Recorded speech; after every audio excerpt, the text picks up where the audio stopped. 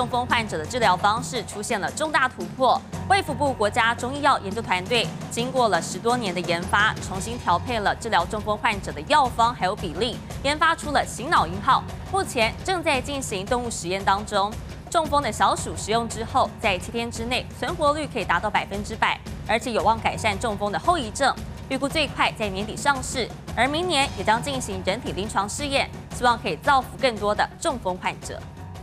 中风后康复期是段漫漫长路，如今这些脑部中风的患者有了治疗的好消息。继清冠一号后，国家中医药研究所历经十多年研发出中药复方醒脑一号，在动物实验中，中风急性期的小鼠七天内存活率，如果是使用西药血栓溶解剂，大约是四成；使用中药古方约可达到八成。中医药研究所将古方重新组合调配，开发出的醒脑一号，使用后存活率可提高至百分之百，且对小鼠抗血栓、抗发炎激素风暴、脑神经。源的保护都有提升。另外，对于中风动物的活动能力、自理能力及辨识学习能力都恢复良好，有望改善中风后遗症。其中有一个古方非常有效，在清冠药突破之后，我们又回去重新整理这个药方。我们最后找到，哎，真的可以